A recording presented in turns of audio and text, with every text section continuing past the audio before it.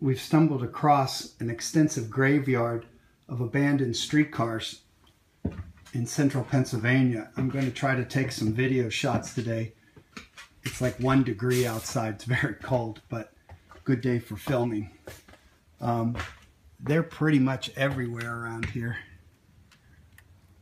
It looks like uh, SEPTA line streetcars. There's some Pat transits uh, from, from the various cities. Looks like a lot of people have been through here.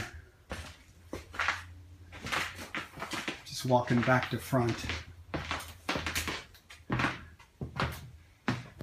There's all kinds of different types of uh, trolleys and streetcars used. A lot, uh, might have been St. Louis cars or Cincinnati cars.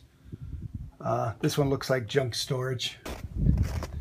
These are actually upside down, laying on their side. Couple shots of what I was inside of. Just kind of parked here. These are SEPTA trains from Philadelphia. The sign says it was bound for Villanova.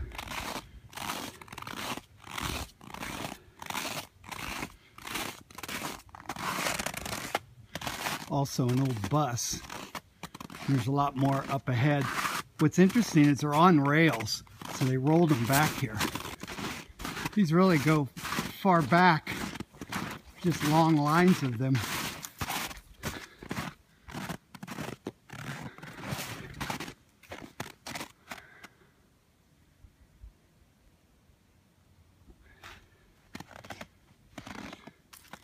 Fortunately, like everything, somebody has vandalized them. This one bound for 63rd Street still has the overhead wire connector on it.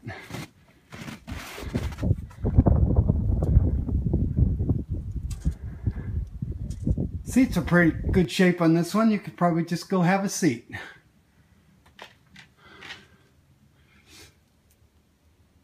Starting to get a little bit more vintage.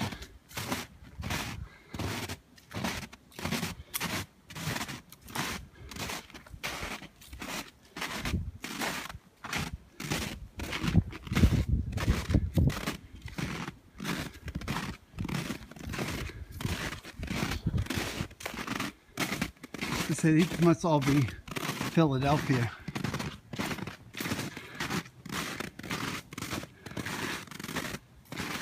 Did you ever ride the 1754 on Pat Transit?